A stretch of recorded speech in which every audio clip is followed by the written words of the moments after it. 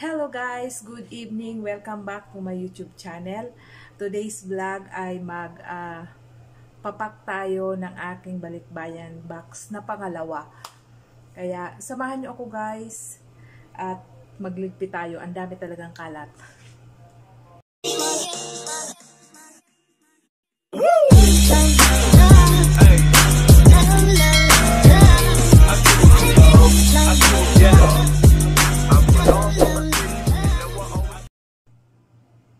Ayan guys yung aking pinamili.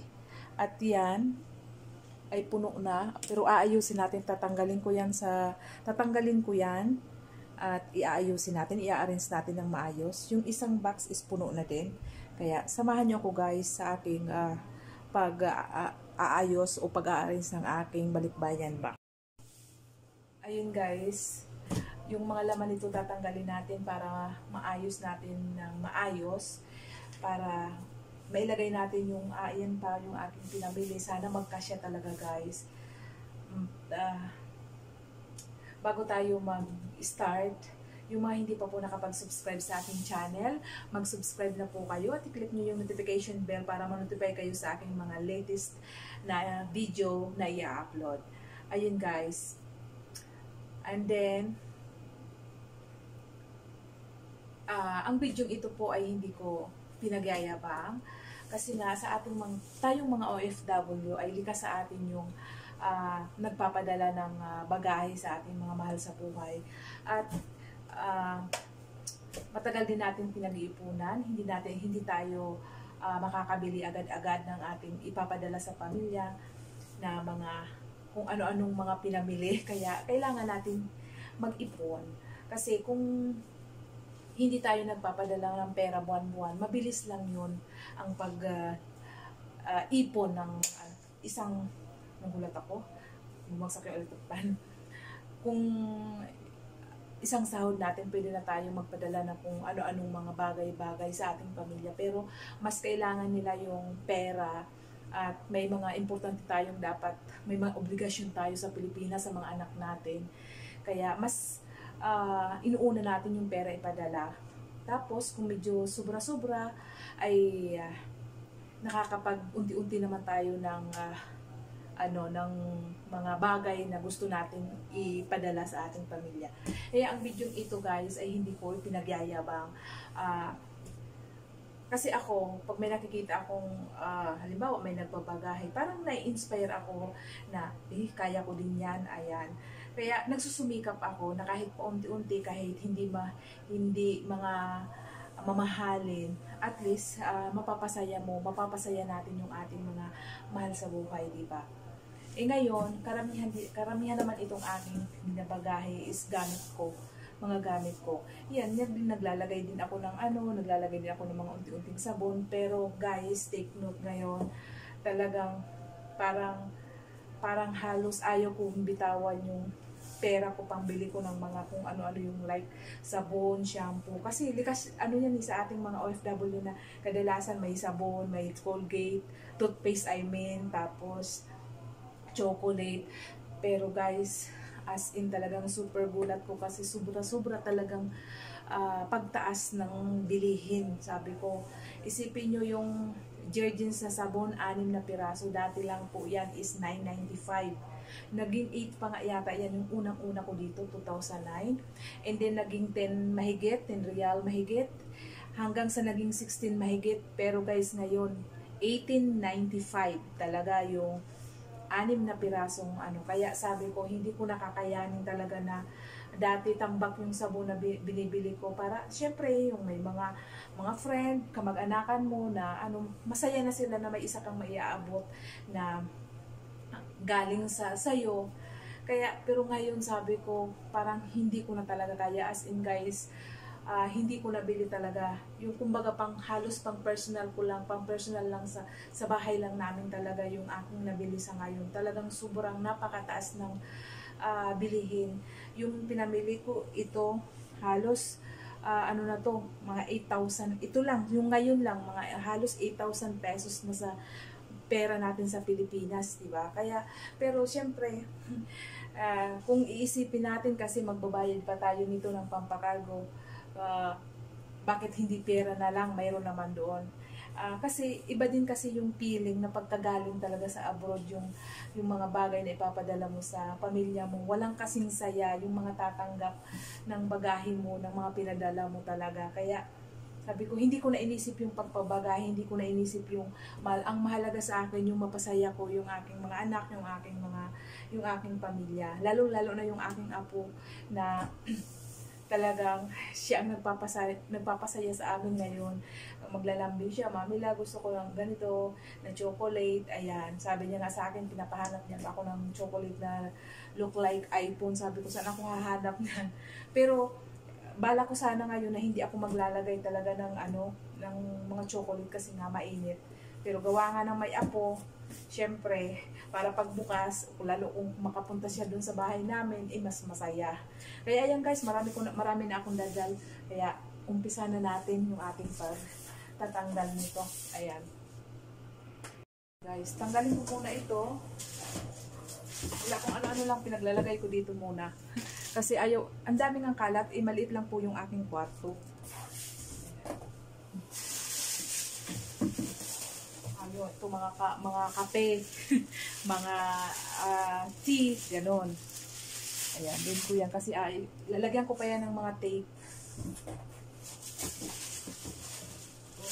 Ito, mababasagin.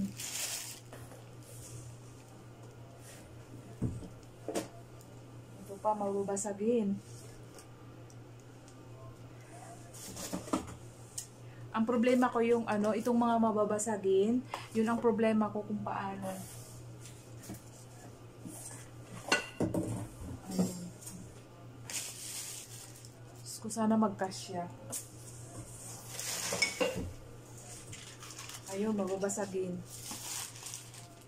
Wala pa naman, wala akong bubble wrap up yun. Ayan, ito guys, itatapon na sana ito doon kasi nung nag-fix doon ng ano, ng kwarto doon sa labas, itatapon na sana ito. Inanghinayang ako kasi stainless to, o di ba? Hindi ko nabibilin siya, di ba? Kaya sabi ko kukunin ko na lang. Ayun.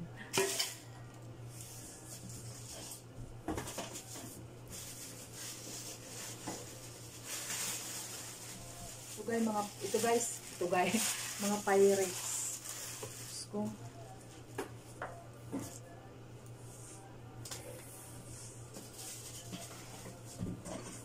Lahat itong mababasagin. Hindi ko alam kung ayan. Guys, pirates.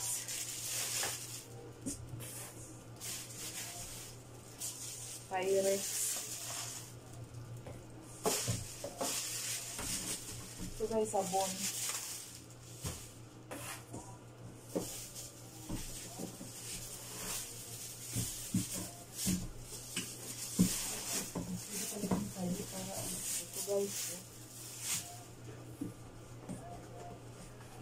Baka hindi ko na muna to i-ano dadalhin. Doon muna, ayan. Ayun guys, empty na yung box. Mag-ano muna tayo nito. Ayan guys, yung aking ilalagay dito sa box. Ayan. Ayan. Ayan, pasensya na kayo't magulo. Ito mga chocolate sa apo ko. Ayan. Tambak yan. Ayan. Ayan. Ito mga mga tray, mga uh, tawag dito, uh, Pyrex. Nagbili ako ng baking baking tray. Ayan. Mga pasta kasi mura dito guys yung pasta. Ayan. Yung isang ano, isang box, puno na yan guys. Ipapacking tape ko na lang 'yan. At dito natin ilalagay yung iba. Ayan. Sana magkasya talaga. Guys, isisingit ko ito ditong sabon. Ayan. Kasi baka talaga hindi magkasya. Kailangan yung mababasagin na sa nandun sa ilalim para hindi gaanong mabagsakan. Ayan, isingit ko dito yung yung dalawang sabon. Ayan guys, umpisa na natin. Papaliin natin ito dito. Pwede ka lang tayo. Para ano, Pag ganon. Ayan, pwede na yan. Patayo.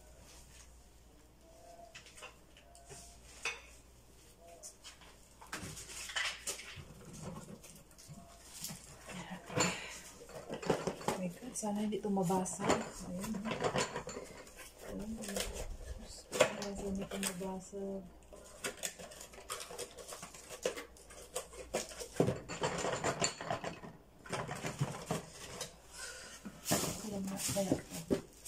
Ayan para gitna-gitna siya. Hindi ko alam guys kung paano ko umpisahan ito. Ayan. Ayan, pwede na yan dyan.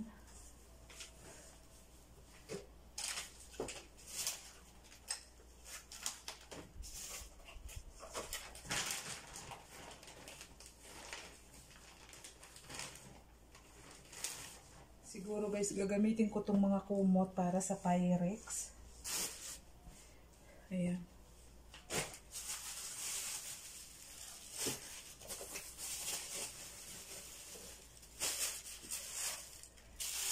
Okay guys, pasensya na kayo, hindi ako makapokus sa pag-video. Kaya i-off ko muna to, tapakita ko na lang sa inyo pagtapos na ako. Two hours later.